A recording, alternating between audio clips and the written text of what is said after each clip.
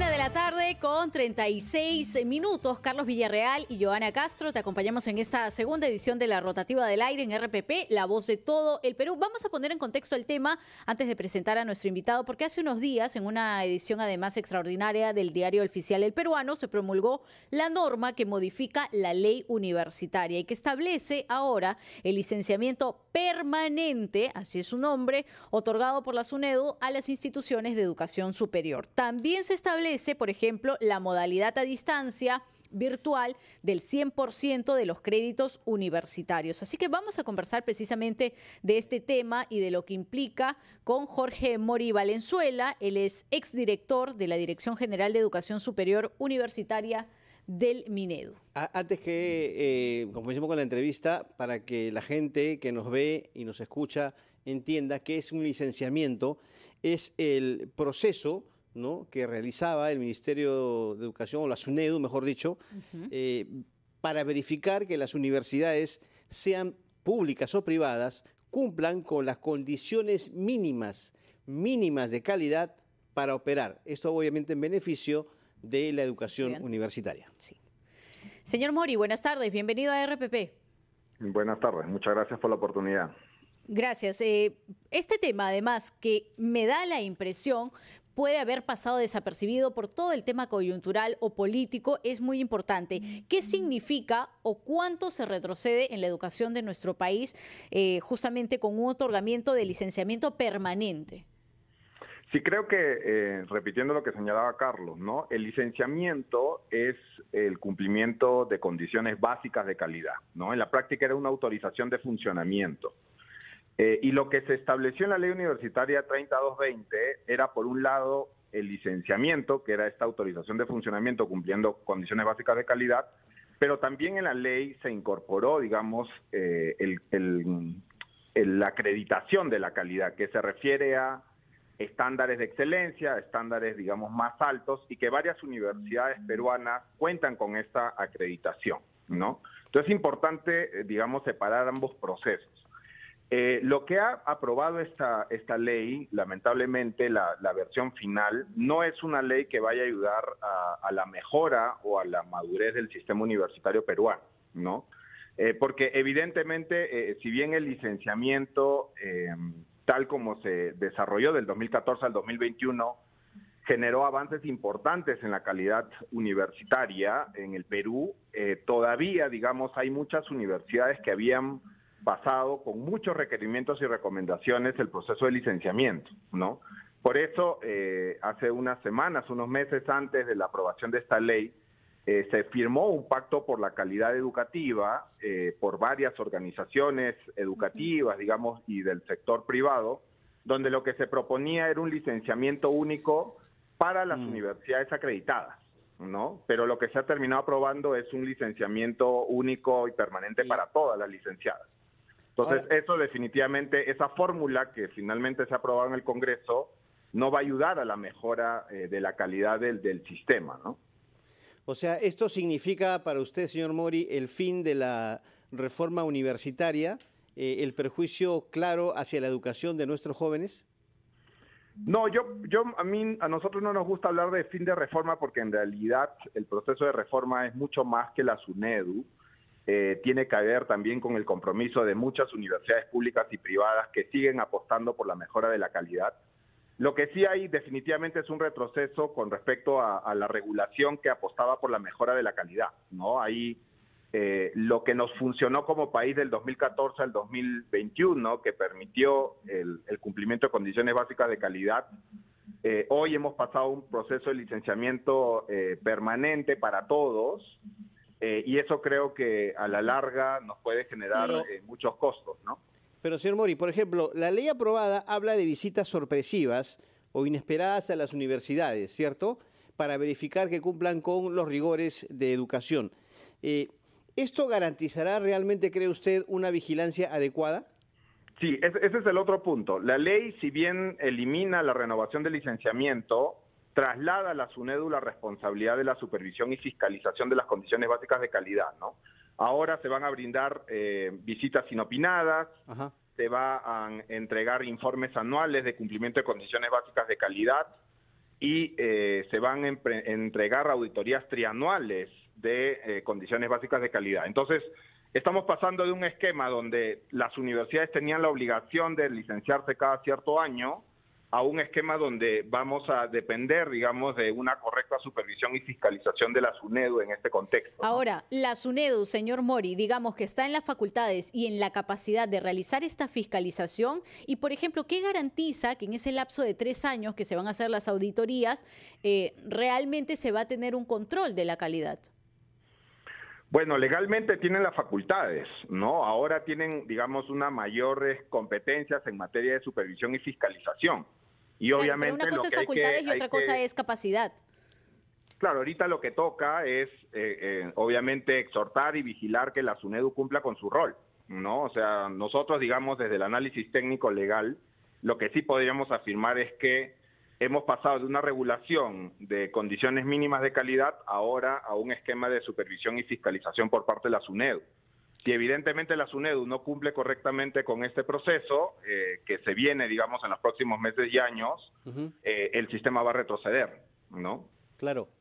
Eh, señor Mori, en, el tema de la modalidad de educación a distancia al 100%, que también se ha aprobado en la, en la ley, ¿no? Que contiene la ley.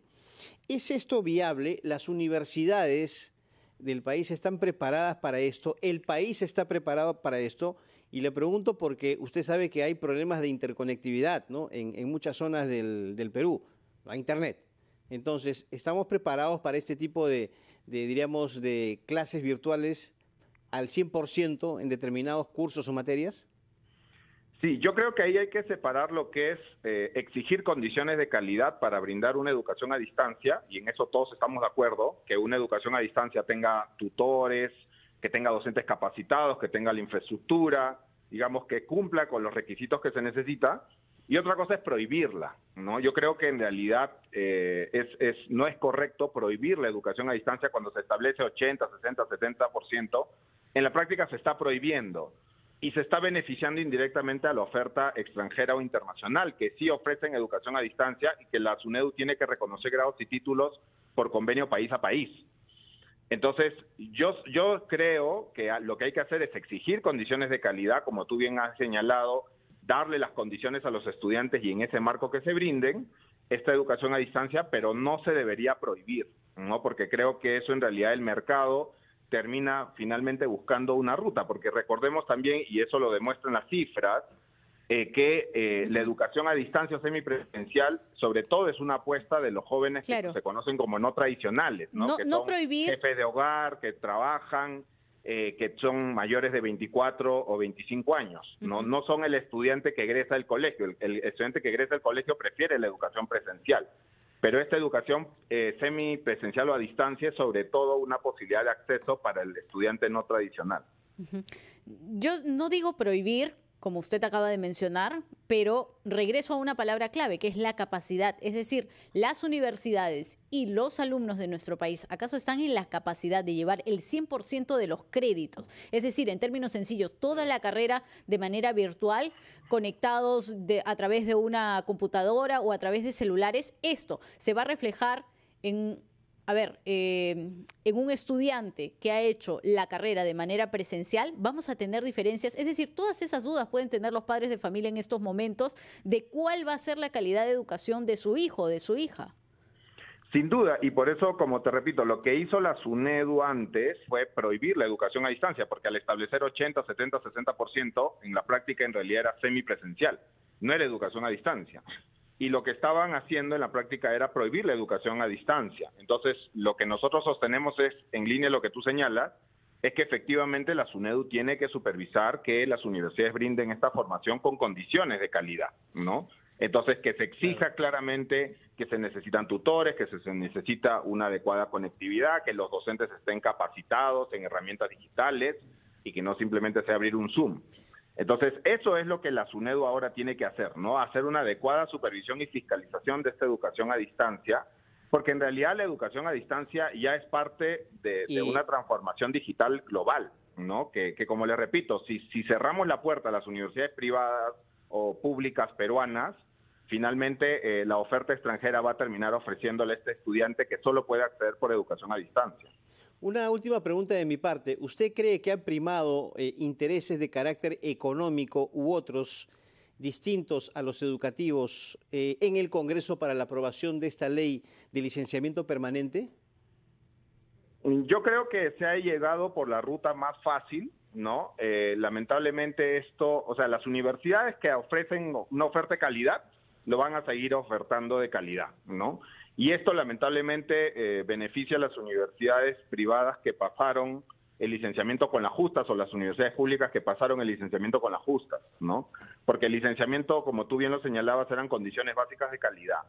Eh, y nosotros sí creemos importante en este contexto que se presente un proyecto de ley para mejorar esta ley y este y este aseguramiento de la calidad, ¿no? Porque si con una ley se se perjudicó, en todo caso se afectó el modelo de, aseguramiento de la calidad. Creemos que es importante que se presente otro proyecto de ley para que justamente se pueda eh, corregir y mejorar, porque creo que también hay que señalarlo, diez años después de la aprobación de la ley universitaria, que se aprobó el 2014, hoy tenemos un sistema universitario diferente, ¿no? y es necesario revisar la normativa para poder proyectarnos a un futuro y a una transformación digital eh, que se está dando en el sistema. ¿no? Antes de finalizar, para que pueda ayudar a los oyentes y televidentes, más temprano contábamos a través de despachos, nuestros corresponsales en el norte del país, en Piura, acerca de los problemas que hay en la Universidad Nacional de Piura, sobre todo con su rector, acusado además de temas de corrupción, algunas protestas de parte de los estudiantes que están pidiendo su salida, en las cuales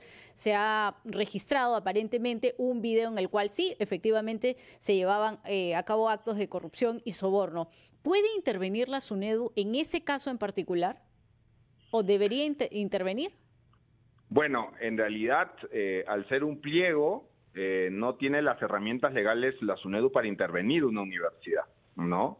Eh, ahora, obviamente, esta, es una situación súper crítica y esperamos que los propios órganos de gobierno de la universidad tomen las medidas correspondientes, ¿no? Creo que el caso es demasiado evidente, ¿no? Entonces, ahí lo que le toca a la SUNEDU básicamente es reconocer o desconocer la firma del rector. Eso es lo que puede administrativamente hacer la SUNEDU. La SUNEDU no tiene la posibilidad legal de intervenir una universidad pública o privada, ¿no? Bueno, eh, gracias eh, por esta explicación que es, eh, la verdad, muy importante, por supuesto, y conocer sobre todo los alcances de esta ley de licenciamiento permanente aprobado en el Congreso de la República, ya refrendado por el gobierno. Señor Jorge Mori Valenzuela, muy agradecido.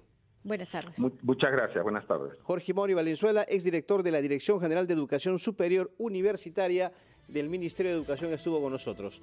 Señores, eh, toca irnos con los anunciantes y regresamos con más información.